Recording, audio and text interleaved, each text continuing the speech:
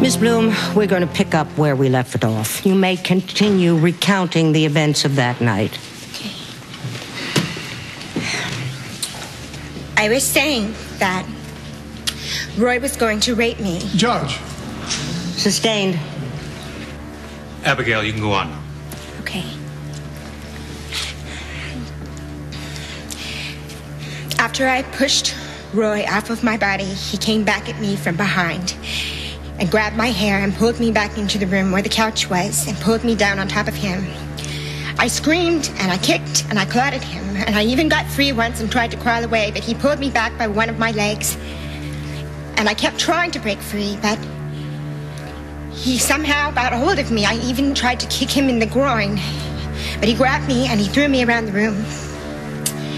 And then he knocked me down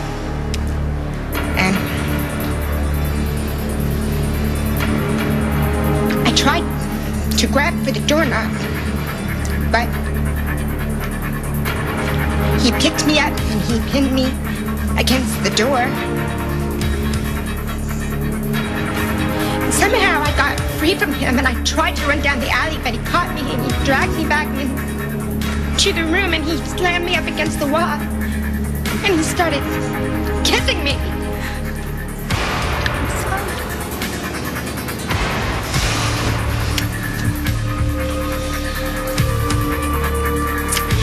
This was when I noticed that there was a metal tool lying nearby, and then he started touching my face with his dirty fingers.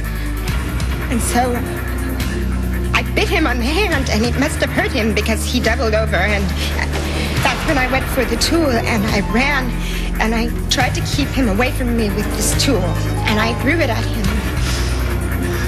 And then I tried to get away again, but he came after me and he grabbed my hair again.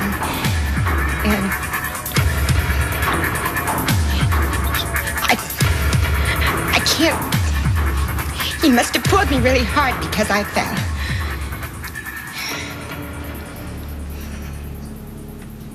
I'm sorry.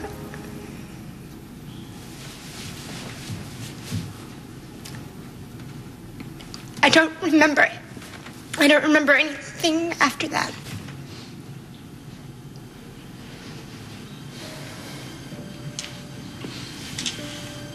Your Honor, may we have a recess so the witness can collect herself? We'll take a break, 15 minutes. You may step down. All rise.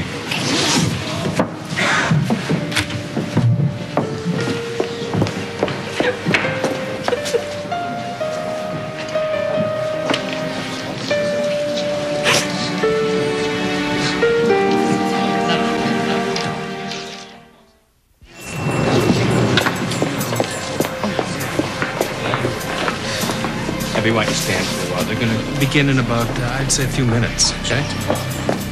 I am so sorry. I didn't think you were testifying until later. I wasn't. The, the morning session went much faster than we thought. Yeah, we're already halfway through, and she's doing beautifully. Oh, I don't know. Yeah. I didn't do so very well at the end there. I kind of lost it. The whole courtroom lost it, Abby. Everybody was moved to tears. Abby, excuse me, the jury was in tears. I'll be right back. Must have been so hard for you. I, I'm, I'm sorry I wasn't here. No. I have to explain something to you. Why I ran out of here so fast the other day. It's a long story, but it has a, a good ending. I found my sister. You found her? You found your sister? Yes, it's so hard to believe. I can't. I am so happy to hear this. Abby, this is an omen, you know. It, it- it's a sign from, from God that, that we're survivors. You're going to get through this. And it's just going to mean that there's good times ahead for all of us. Oh, I hope. I really hope so. You know, I'm working part time. You're not gonna.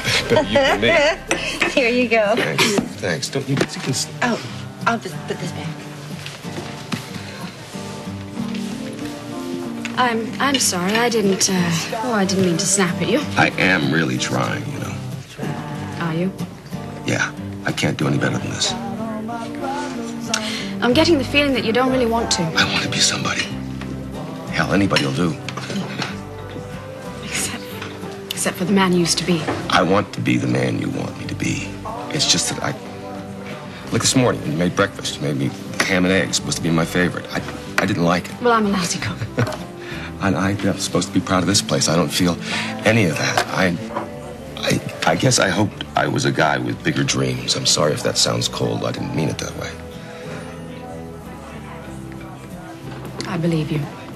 I mean, apparently Buzz had to learn to love this place. I guess I'll just have to learn all over again. That's what I'm trying to help you to do. Yeah, well, you try, I try. We all try, don't we? Mm-hmm. But, um, nothing here is real for me, you see. Mm-hmm. only thing that's real for me is the baby you're carrying. I, it doesn't make any sense to me, but that's the only thing that's real. I mean, I don't. I don't know jack about who I am. But that baby, I helped make it. Maybe if I get to know the baby, I get to know more about myself. Buzz, uh, this baby that I'm Look, carrying. Yes. I don't want to talk about this anymore. I'll go take a tour of the kitchen. Maybe a, a rusty pot or something. No, Jog Buzz, my. I- I, look, I do. I'm sorry, but this, as a man's life's work, it's just, it's not much, you know. It's not much at all.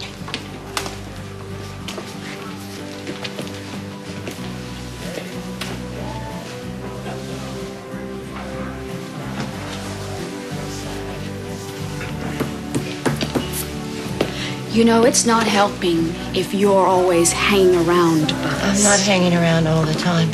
Doesn't look like you're doing so great yourself. Hey, Dad.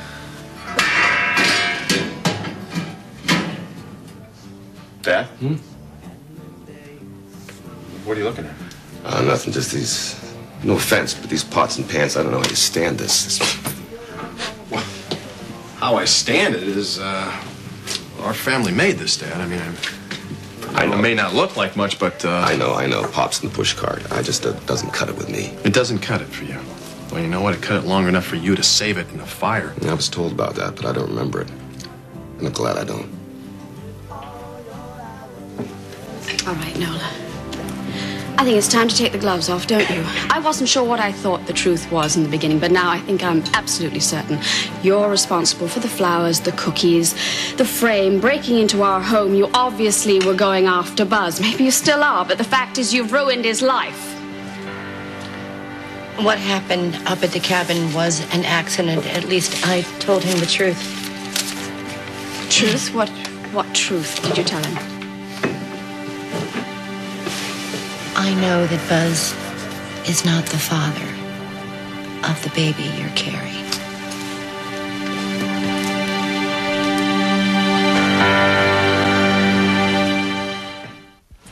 What are you getting at, Nola? Please, please don't try to deny it because I heard you say it. Uh-huh. What did Yes. say? So, day after day, as Buzz